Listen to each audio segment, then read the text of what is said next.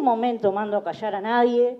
Hemos tenido que soportar de la bancada del Frente Amplio que nos digan ignorantes y de todo un poco. Así que a mí no me vengan con cosas raras. Y sí, lamentablemente señora Edil me vas a tener que escuchar todas las sesiones hablar, porque yo estoy muy convencida, de parte para eso me votó la gente, para estar en este lugar. Este, si no le gusta mi forma, lo lamento mucho que se tape los oídos.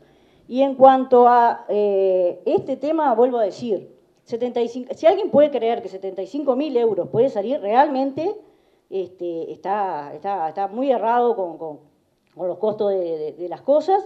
Entiendo que lo quieran este, por escrito, pero la verdad este, no me parece lógico el, planteo, sinceramente lo voy a decir, este, no me parece lógico.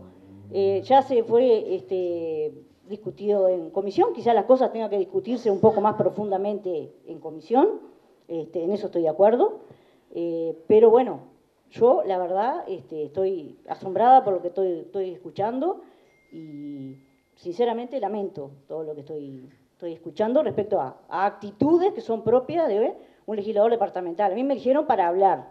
Eh, hoy particularmente no puedo hablar mucho, pero eh, para eso me eligieron y si no me quieren escuchar, bueno, paciencia. Yo tampoco quisiera escuchar muchas pavadas que escucho y sin embargo las tengo que escuchar.